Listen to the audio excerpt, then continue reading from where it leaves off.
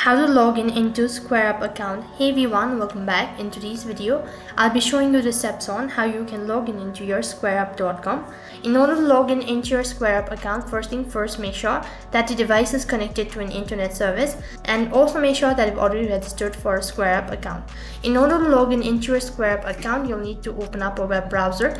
You can use any web browser of your choice and on the web address bar, you need to type in www.squareup.com. You can also find the link on my description box below.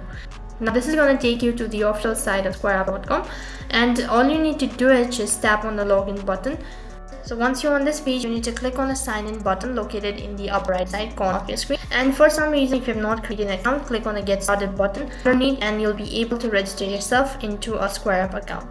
As soon as you click on the sign in button, you'll be taken to the sign in and sign up page. If you don't have an account, click on the sign up button right over here and you can register yourself into SquareUp account.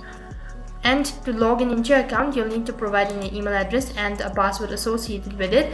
After you're done entering the information, click on the sign in button and you'll be logged into your account.